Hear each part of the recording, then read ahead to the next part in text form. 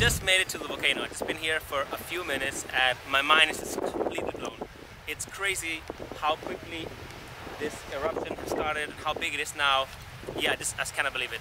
Um, and the last thing that I would imagine this morning when I woke up would be to be standing and looking at this. It's just crazy. I thought the eruption was gonna happen maybe like in a few weeks and now it's here and it is so beautiful.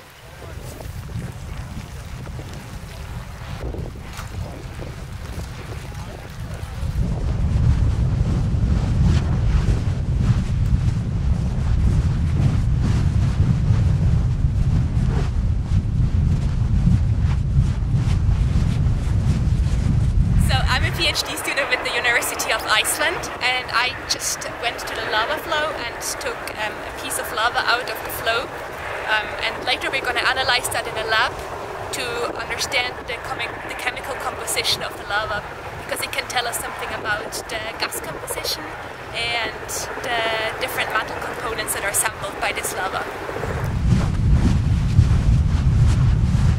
So this is absolutely incredible to see. Uh, we were here actually last year when the eruption happened, just only like within 24 hours later. Uh, but this eruption is at least 5 to 10 times bigger.